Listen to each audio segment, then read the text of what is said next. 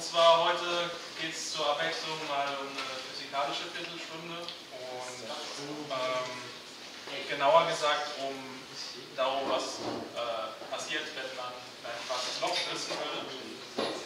Leise Leute. Äh, streng genommen kann ich das natürlich nicht äh, sagen, das kann keiner, weil niemand jemals in ein schwarzes Loch geflogen ist. Äh, was ich aber tun kann, ist, ich kann euch erzählen, was äh, passieren würde, wenn man in ein schwarzes Loch stürzt, in der Theorie, die wir derzeit von schwarzen Löchern haben und die äh, ziemlich gut äh, abgesichert ist. Und bevor ich mich im Detail der Frage widme, äh, würde ich gerne, ähm, da ich nicht erwarte, dass hier lauter Experten sitzen, ein bisschen kurz vorher was über schwarze Löcher auch noch im Allgemeinen erzählen. Äh, und ich würde damit anfangen mit der populären Vorstellung, die Leute von viele Leute, äh, mit denen ich mich unterhalten habe, äh, von schwarzen Löchern haben, nämlich die falsche Vorstellung. Das hier ist, äh, was schwarze Löcher nicht sind. So.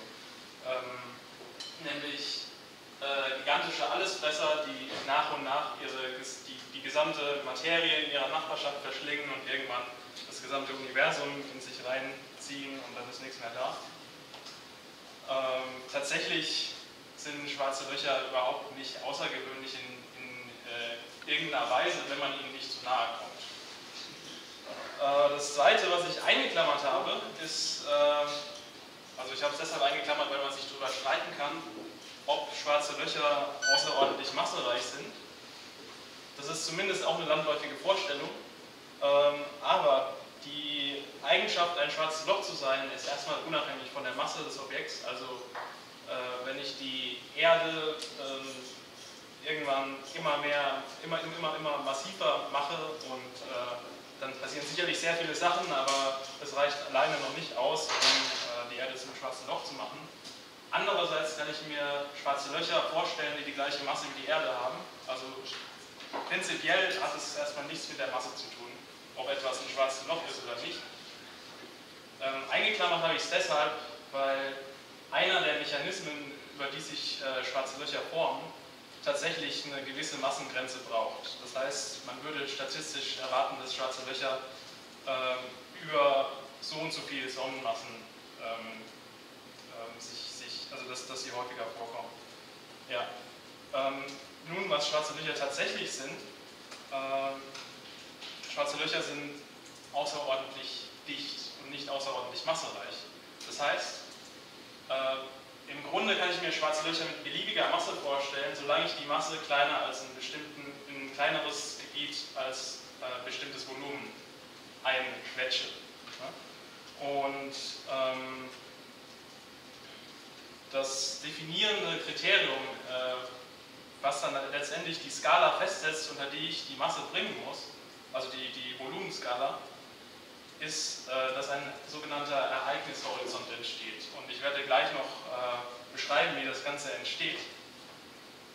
Ähm, tatsächlich kann man die, ähm, die, die Entstehung oder man, man kann ähm, sehen, wieso es schwarze Löcher geben kann, schon anhand rein äh, klassischer Überlegungen. Das heißt, Überlegungen, die die Newtonsche Gravitation als Argument verwenden, obwohl ja schwarze Löcher eigentlich durch die allgemeine Relativitätstheorie beschrieben werden sollten, weil die Newtonsche Theorie, äh, die sich irgendwann, irgendwann herausgestellt hat, falsche Vorhersagen macht und letztendlich, wie vielleicht einige von euch wissen, dann durch äh, Einsteins Gleichungen ersetzt wurden.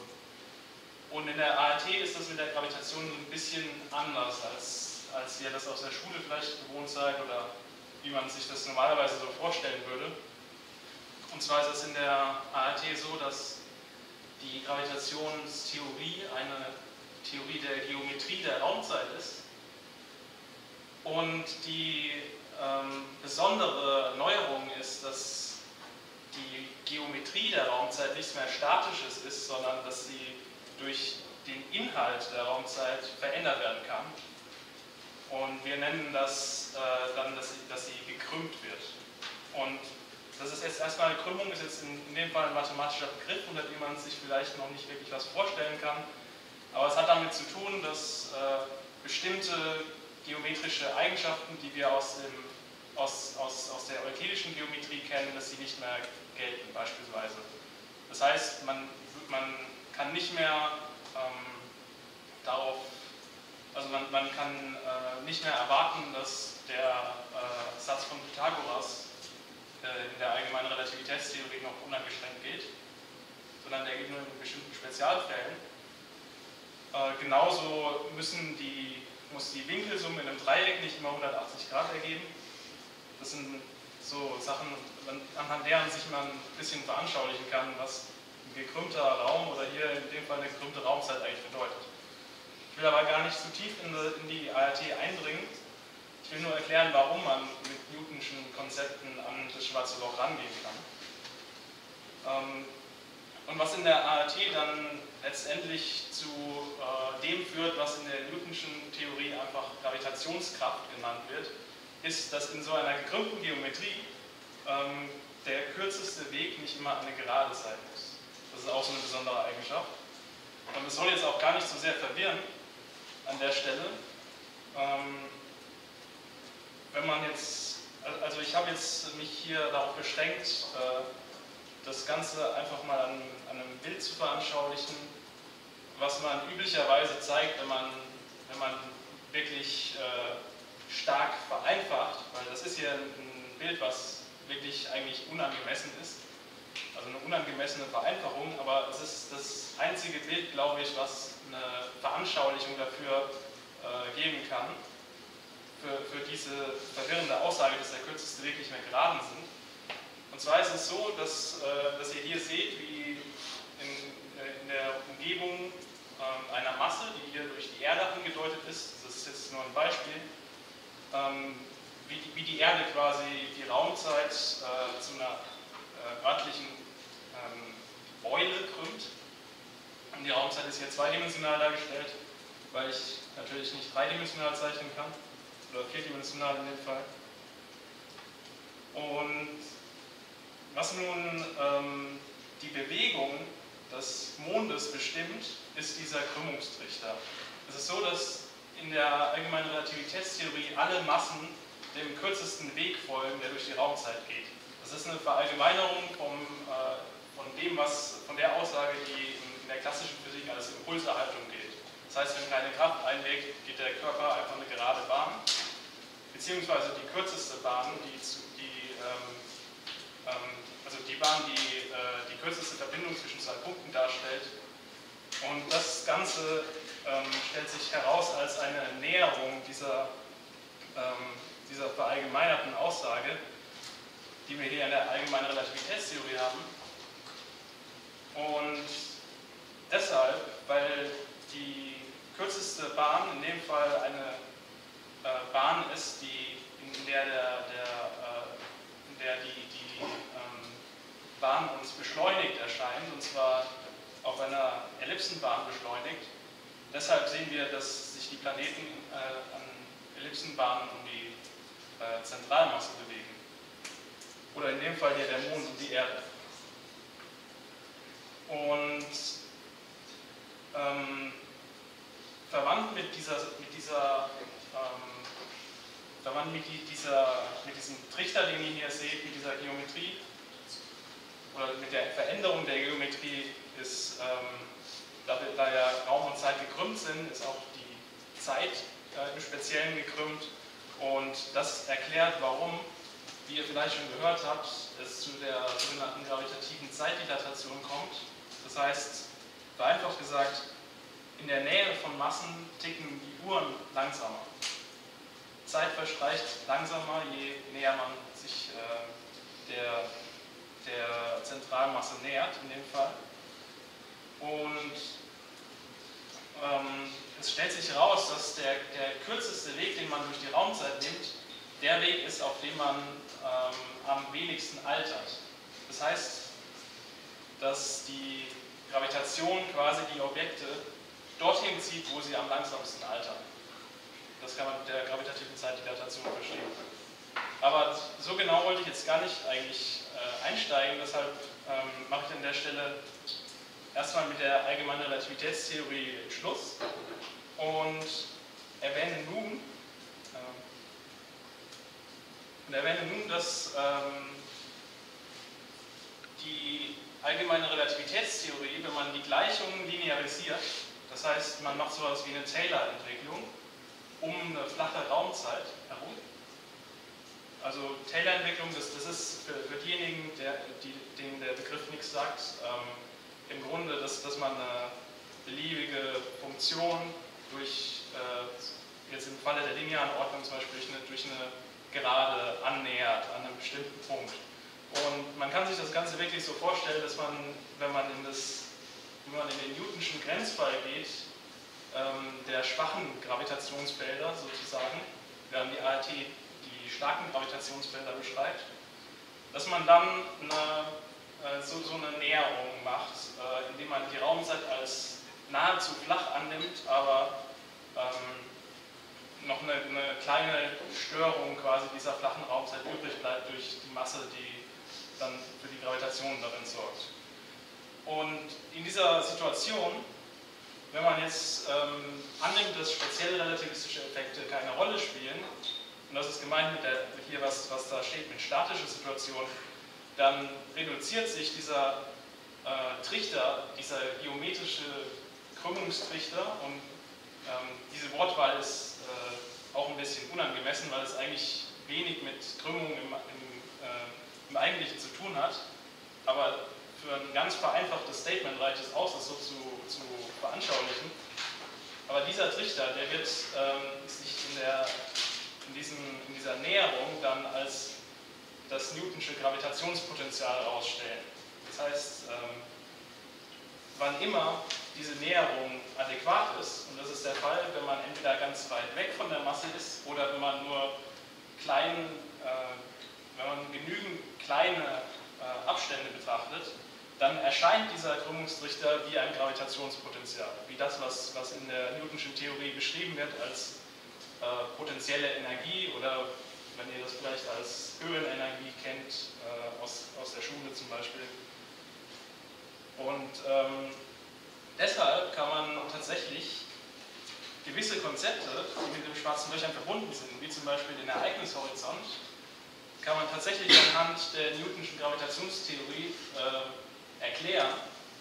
Man muss sich nur anstatt der Newtonschen Begriffe die allgemeine relativistische Vereinig Ver Ver Verallgemeinerung denken. Und deshalb funktioniert das. Ähm, und was jetzt tatsächlich in der Newtonschen Theorie, äh, was man dort vorfindet, ist, dass das Gravitationsfeld mit, diesem, mit dieser erwähnten potenziellen Energie verknüpft ist.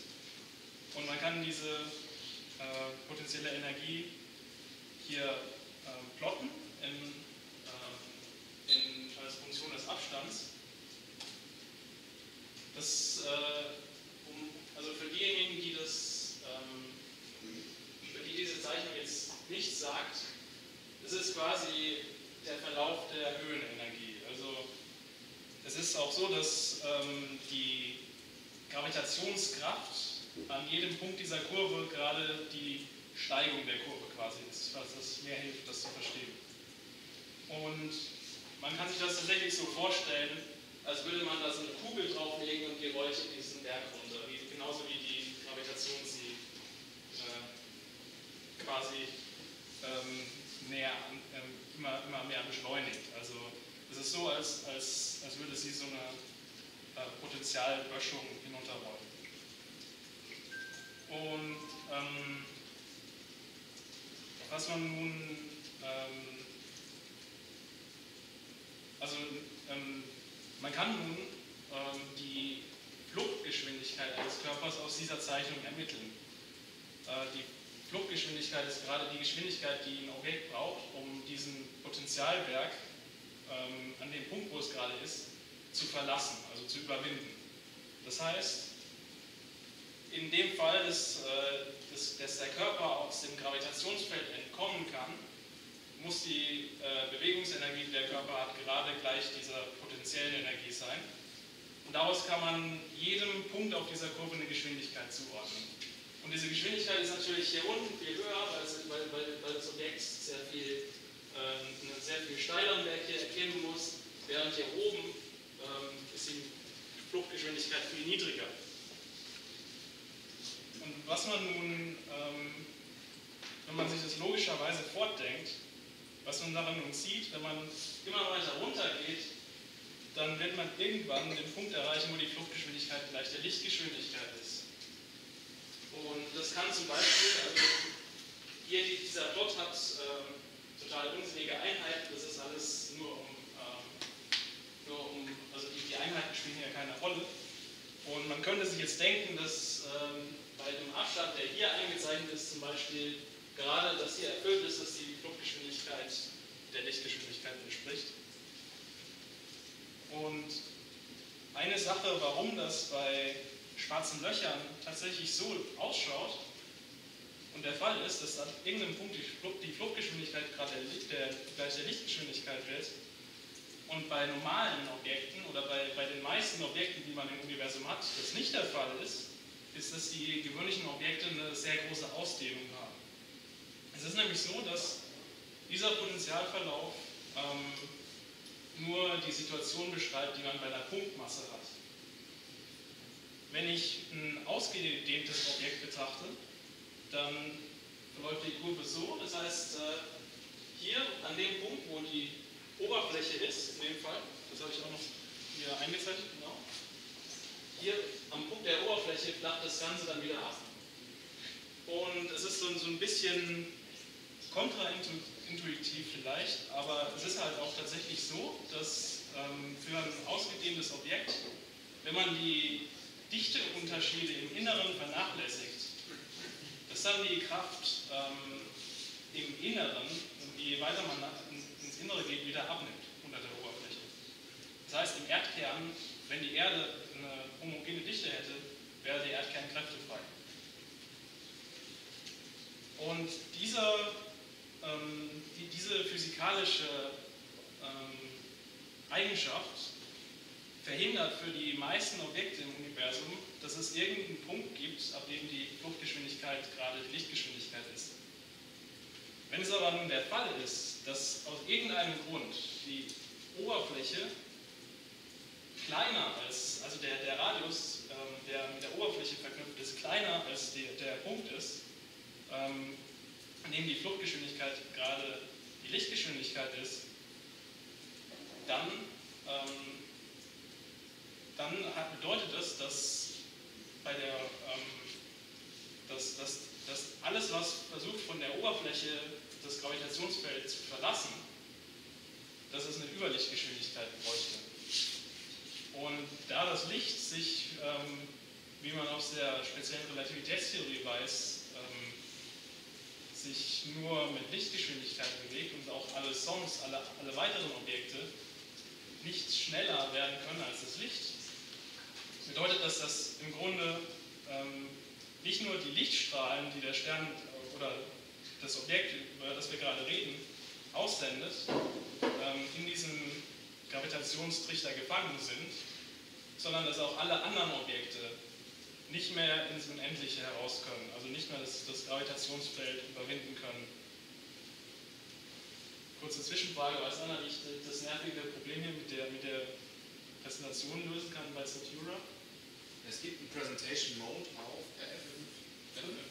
F5, okay. Drück nochmal.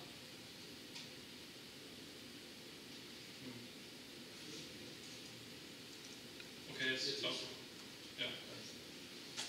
Okay. Ähm, und nun, nee, das ist immer noch wieder da. Da unten, das, das, das stimmt irgendwie nicht ganz überein. Kannst du ein bisschen rauszoomen, weil jetzt. Ja, reinzoomen. Ja, oder wie auch immer. Ja, gut, okay. Ähm,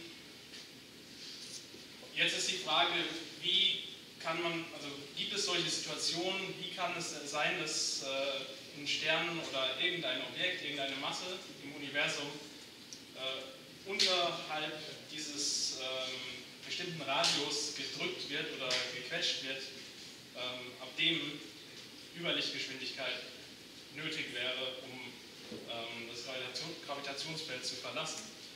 Und ein Mechanismus, den es da gibt, äh, ist, dass ein Stern, wenn er an seinem Lebensende äh, in einer Supernova explodiert ist und äh, dann die Überreste ähm, den gravitativen Kollaps anfangen, weil die, äh, also das, das beginnt ab einer bestimmten ähm, Grenzmasse, dass die Gravitation die inneren Druckkräfte überwiegt und tatsächlich der Stern immer kleiner wird und irgendwann die Stelle unterschreitet, äh, den Radius, ab dem die Fluchtgeschwindigkeit gleich der Lichtgeschwindigkeit wird.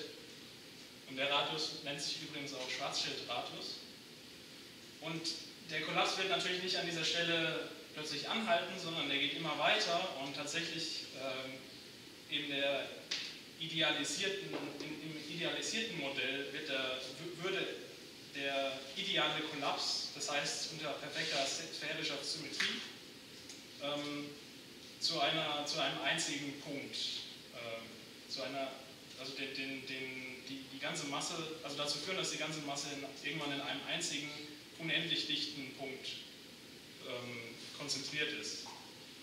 Das ist natürlich nur ist eine, das, das ideale Modell. In Wirklichkeit sind natürlich viele kleine Störungen und auch die äh, Rotation des Sterns, die diese Annahmen eigentlich nicht rechtfertigen, nicht mehr rechtfertigen.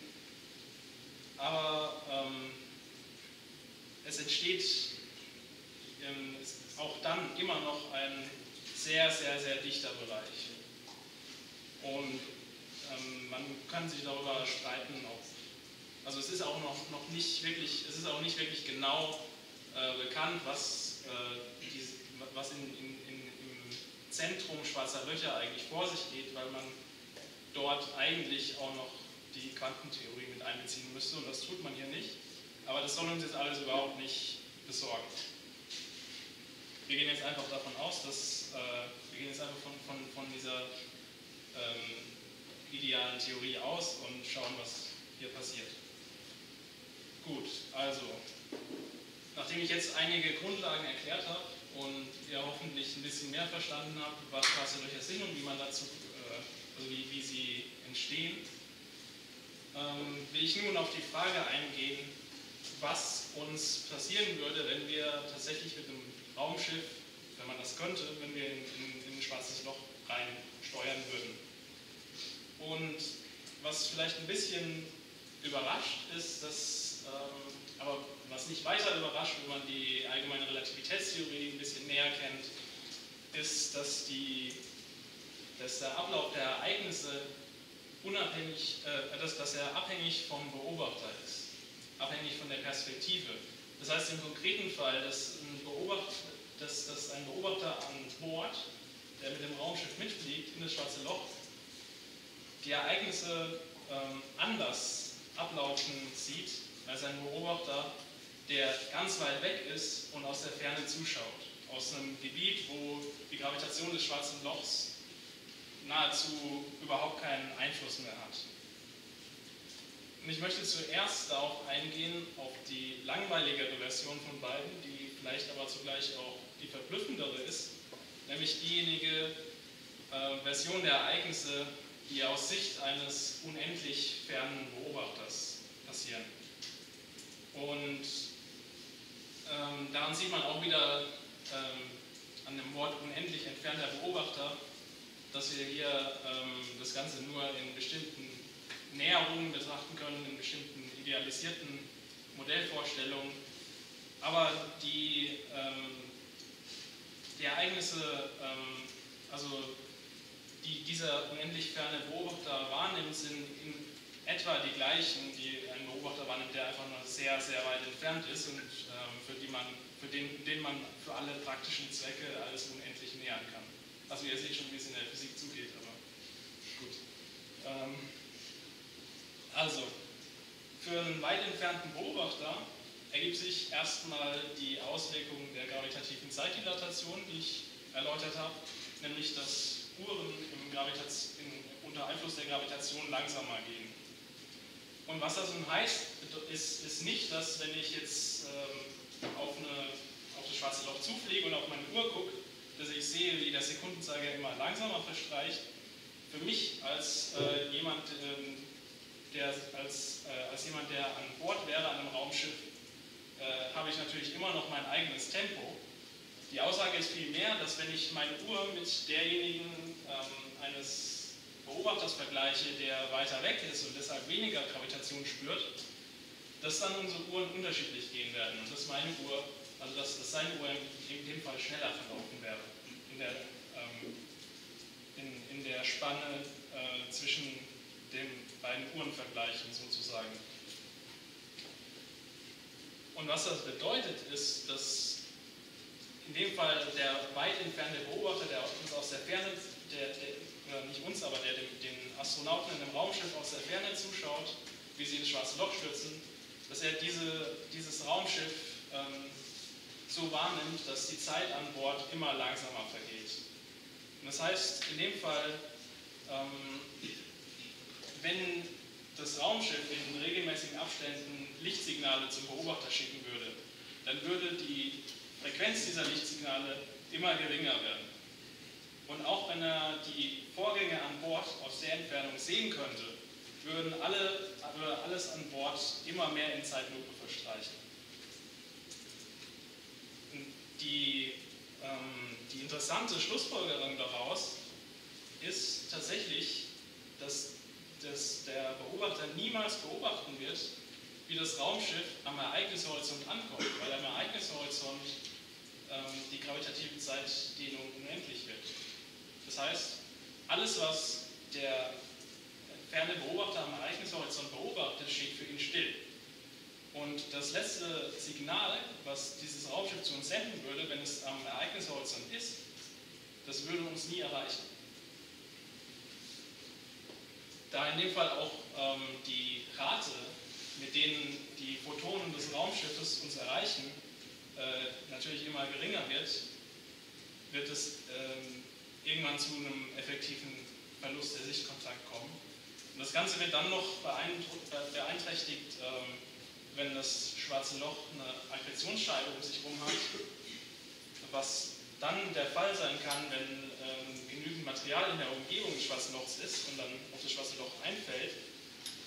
Ähm, Frage? Ja. Ähm, heißt das dann aber auch, wenn, wenn äh, die Photonen, die zu mir, mich erreichen, immer weniger werden, dass quasi das Raumschiff für mich als entfernten Beobachter immer dunkler wird? Immer dunkler und immer roter. Okay. Rot verschoben. Und ja, wenn, wenn man, äh, also die, die Frequenz wird niedriger und irgendwann, weil ja die, die, die uns dann die, die Quantenphysik lehrt, äh, ich meine, Licht kommt ja in Photonen, irgendwann wird die Frequenz einfach zu niedrig, dass äh, überhaupt uns irgendein Photon erreichen kann, weil sich die, ähm, die, die Mindestenergie äh, nicht mehr das heißt, ich würde so ein, so ein, so ein Fade-out sehen. Ja. Ja, und das heißt im Grunde, dass ähm, aus Sicht des entfernten Beobachters niemals irgendwas ins schwarze Loch tatsächlich fallen wird. Allerdings wird das schwarze Loch tatsächlich, ähm, oder vielmehr die Summe aus schwarzem Loch und den ganzen Sachen, die äh, als für mich als entfernten Beobachter gerade so in der Nähe des schwarzen Lochs sind und immer langsamer werden. Also das Gesamtsystem wird natürlich massiver und ähm, die Gravitation des Gesamtsystems ist nicht zu unterscheiden von der Gravitation ähm, in dem Fall, dass die Beobachter, in, äh, dass die Objekte tatsächlich ins schwarze Loch gefallen werden, gefallen wären. Also kann ich ähm, im Grunde, das ist im Grunde was, was den, den scheinbaren Widerspruch auflöst, der sich damit ergibt, dass im Grunde schwarze Löcher nach, nach der Vorstellung scheinbar nicht anwachsen können. Gut, aber was ich gerade, ähm, genau, die, äh, in dem Fall, dass das schwarze Loch eine Akkretionsscheibe um sich hat, ähm, wird es sowieso zu, viel früher zum Verlust des Sichtkontakts kommen, weil einfach das Licht, was von dieser Scheibe ausgesandt wird, ähm, das äh, Licht vom Raumschiff überstrahlt. Das heißt also Gegenlichteffekt. Ähm, das, das, Raumschiff geht einfach dann irgendwann unter in diesem äh, blendenden Licht.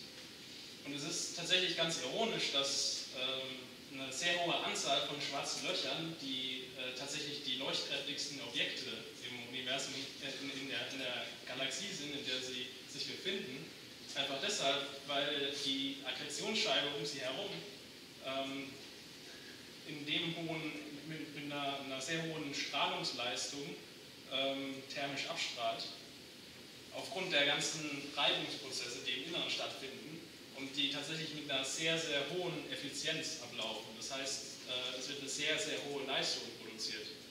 Und deshalb ähm, sind die schwarzen Löcher, die eine Aggressionsscheibe um sich haben, ähm, sehr, sehr, sehr, also würden, würden uns, uns äh, sehr stark blenden erst einmal.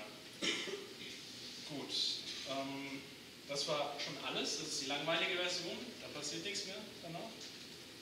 Jetzt ähm, stellen wir uns vor, wir setzen uns tatsächlich an Bord von, von diesem Raumschiff. Und dann äh, passiert tatsächlich was ganz anderes. Zunächst mal, ähm, das hätte ich vielleicht auch schon bei dem weit entfernten Beobachter ähm, nennen können, ähm, wir werden erst einmal in eine spiralförmige Umlaufbahn um das schwarze Loch gebracht. Und zwar aus dem Grund, dass, die schwarze, dass ein realistisches schwarzes Loch eine Rotation hat, die einfach die Rotation ist, die übrig geblieben ist von der Rotation, die der Stern vorher hatte. Und das Besondere in der allgemeinen Relativitätstheorie ist, dass rotierende schwarze Löcher die Raumzeit um sich herum quasi mitreißen.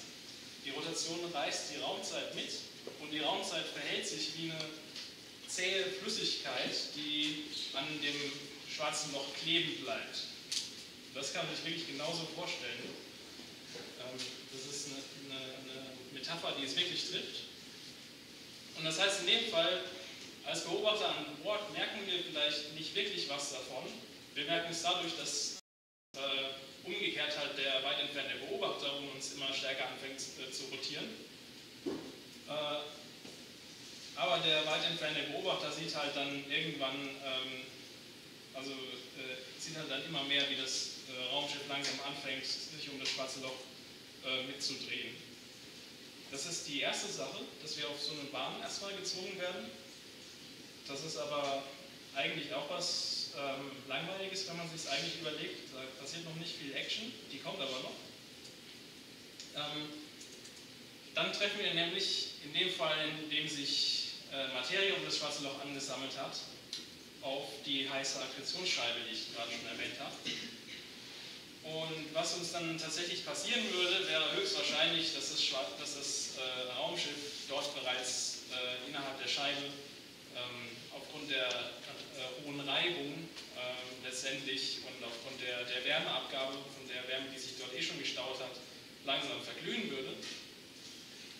Aber wenn das nicht passieren würde, wenn tatsächlich, ähm, wenn tatsächlich das, äh, die Akkretionsscheibe in dem Fall nicht vorhanden wäre, weil einfach keine Materie um, um das schwarze Loch herum war, ähm, dann würden wir irgendwann bis zum Schwarzschildradius kommen und vielleicht äh, erwarten einige von euch, dass man da jetzt irgendwie was auf was Besonderes trifft, also irgendwie einen schwarzen Vorhang oder sowas und dann, äh, wenn man dahinter ist, irgendwelche Action oder so.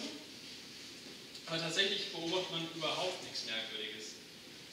Das hat den Grund, dass für den Beobachter an Bord, wenn er am Schwarzschildradius angekommen ist, der Schwarzschildradius keinen Ereignishorizont mehr darstellt. Es ist tatsächlich so, je mehr man sich ähm, dem schwarzen Loch annähert, desto mehr sieht man den Ereignishorizont des schwarzen Lochs weiter ins Innere rücken, unter den, den äh, Schwarzschildradius und immer kleiner und irgendwann ähm, ist er dann, wenn man selber dann letztendlich im Zentrum angekommen wäre, in dem Fall wäre er dann verschwunden. Ähm, das hat auch einfach, ähm, das, das mag jetzt vielleicht ein bisschen verwirren, dass, dass der Ereignishorizont auch wieder vom Beobachter abhängt. Aber man kann sich das Ganze schon allein logisch dadurch überlegen, dass der Ereignishorizont ja eine Region umhüllt, die ähm, kausal quasi abgetrennt ist von dir selbst. Und natürlich kannst du niemals die, in die Region eindringen, die für dich selbst kausal abgekapselt ist. Und was das halt bedeutet, ist, dass am Schwarzschildradius für einen Beobachter, der an Bord dort in einem Raumschiff ist, das gerade diesen Radius überschreitet, dass überhaupt nichts passiert. Was dann im weiteren Verlauf geschieht, wenn man ein bisschen weiter sich, sich weiter innen befindet.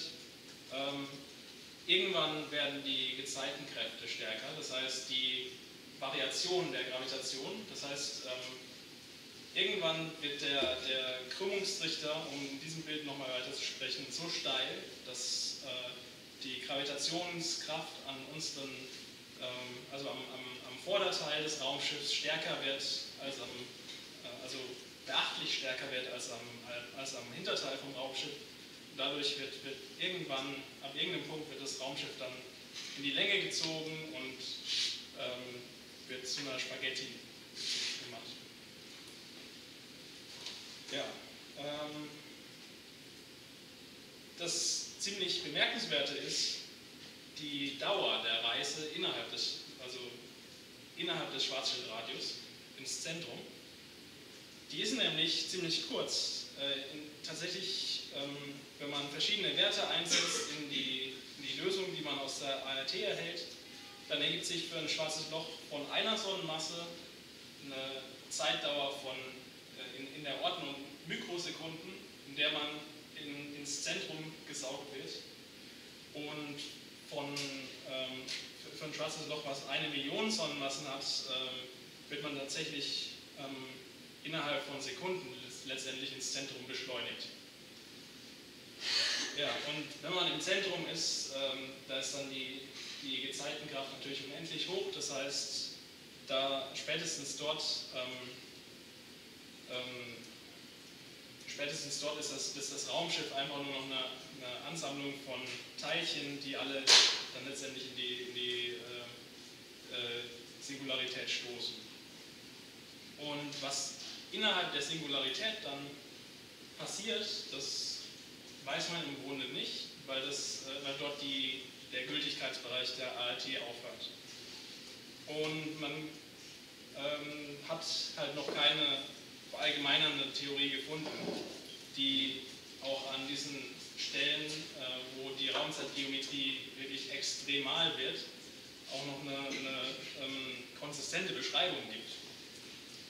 Das heißt, im Innern des Schwarzen Lochs bricht die Theorie zusammen und wir wissen nicht, was passiert.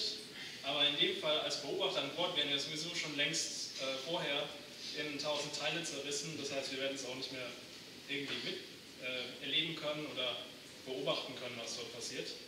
Zumal wir sowieso nur ähm, sehr, sehr gering, sehr, sehr, sehr, sehr kurze Zeit haben, ähm, bis wir tatsächlich im Zentrum angekommen sind. Und dann ist aber die Geschichte dort noch nicht ganz zu Ende oder sie muss noch nicht ganz zu Ende sein für uns oder für, für das, was vom, vom Raumschiff übrig geblieben ist, weil nämlich ähm, letzten Endes nach genügend langer Zeit irgendwann ähm, der sogenannte äh, Hawking-Strahlungsprozess dafür gesorgt hat, dass das schwarze Loch verdampft ist. Das heißt, das, das schwarze Loch, und das ist sehr schwer, sich das vorzustellen oder das jetzt rüberzubringen, aber tatsächlich verdampft das schwarze Loch. Und es wird immer kleiner und irgendwann ist alles, ist, ist die gesamte Masse innerhalb des schwarzen Lochs äh, in Form von Energie, äh, die, die, die diese Hawking-Strahlung dann nach außen trägt, freigesetzt. Und das heißt, auch die Masse des Raumschiffs wird am Ende dann ähm, zu Hawking-Strahlung umgewandelt. Ähm, und hier ist es interessant darauf hinzuweisen, dass, diese, dass, dass dieser Punkt, ähm, dass es hier ein ungeklärtes Rätsel immer noch gibt, ein weiteres Rätsel neben der Sache mit der Singularität. Nämlich hier tritt zum ersten Mal, wenn man ähm, die allgemeine Relativitätstheorie und die Quantentheorien ähm, beide ernst nehmen möchte, ein konzeptioneller, unlösbarer Widerspruch auf. Es ist nämlich so, dass ähm, dadurch, dass ähm, man im schwarzen Loch nicht ansehen kann, ähm, was, oder dass man nicht feststellen kann, dass, dass diese Information überhaupt nicht drin gespeichert ist, ähm, was vorher reingefallen ist, sondern nur in welcher Masse, also welche Masse das hatte, was reingefallen ist. Es können, äh, wenn ich jetzt eine, zum Beispiel einen Tisch in ein schwarzes Loch reinwerfen würde oder mehrere Stühle, dann würde am Schluss das gleiche schwarze Loch entstehen, wenn diese beiden Gegenstände die gleiche Masse haben. Und das ist insofern ein Problem, als dass die Quantentheorien verlangen, in dem Fall, dass, ähm, dass man alle physikalischen Vorgänge zurückverfolgen kann und quasi den Anfangszustand äh, wieder herausbekommt. Und das ist in dem Fall nicht gegeben. Und das ist äh, letztendlich alles, was, falls ihr euch äh, ein bisschen näher darüber, damit, dafür interessiert und schon mal das eine oder andere dazu gelesen habt, was man dann als das Informationsparadoxon bezeichnet. Also das ist im Grunde die einfache Erklärung dafür, was, was dieses Informationsparadoxon darstellt. Gut, ähm, hier ist dann der Vortrag zu Ende und wenn ihr Fragen habt, könnt ihr die jetzt stellen.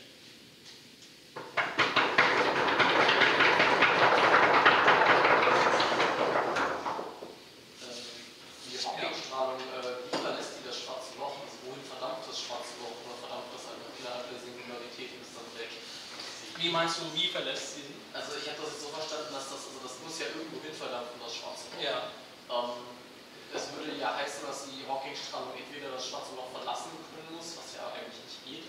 Weil- Ja, das ist ein bisschen. Äh, Also das ist das, das, tatsächlich. das verschwindet einfach das schwarze Loch, oder? Ähm, das ist tatsächlich ähm, der Punkt, weshalb die Hawking-Strahlung am Anfang sich, ähm, also wa- warum Hawking am Anfang belächelt wurde.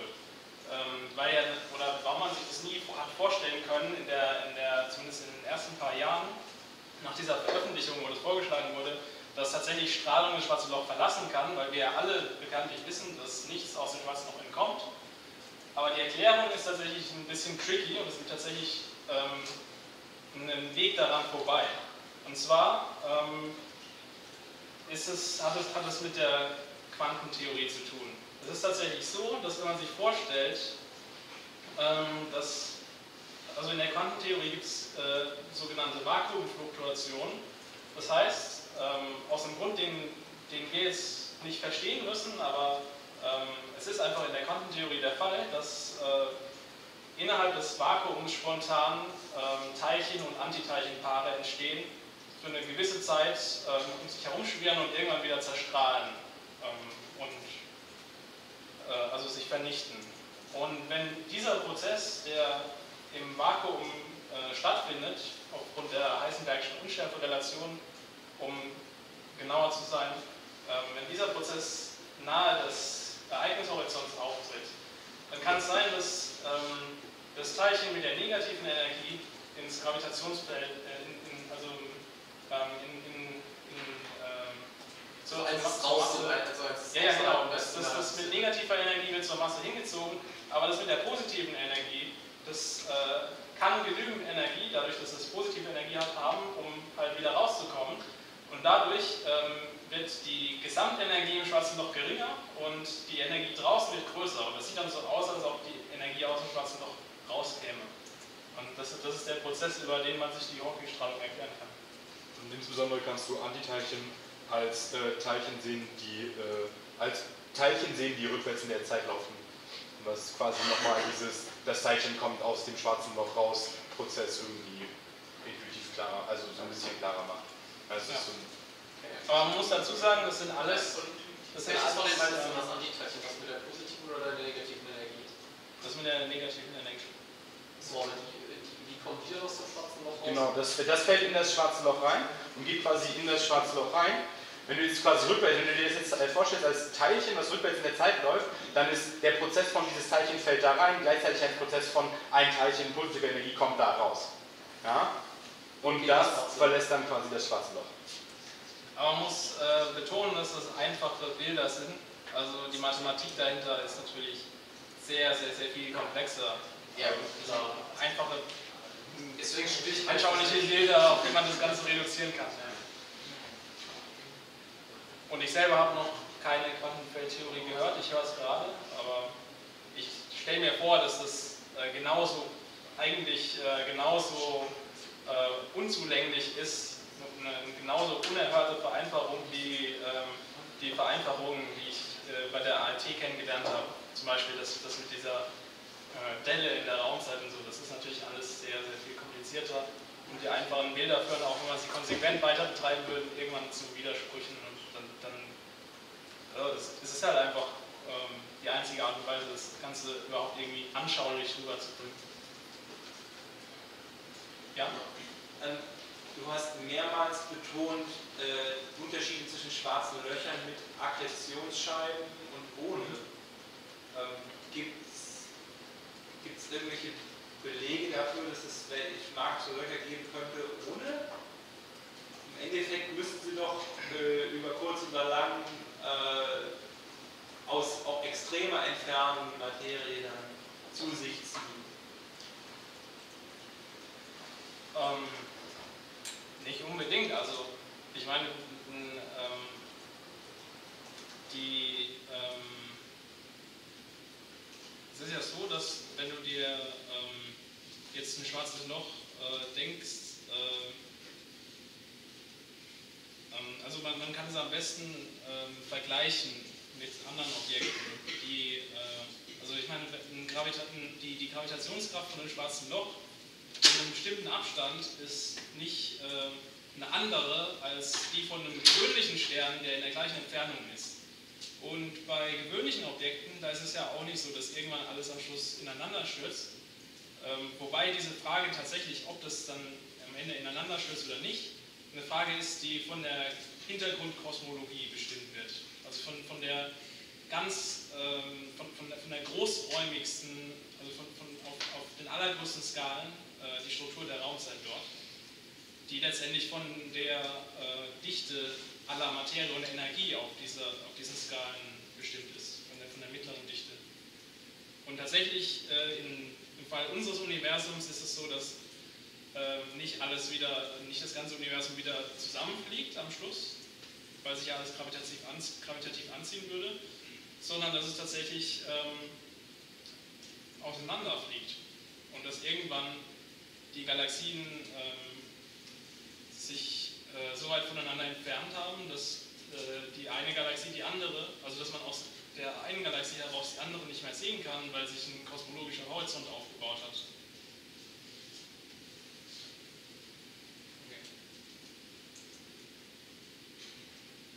Ja, wenn keine weiteren Fragen sind, dann vielen Dank für eure Aufmerksamkeit.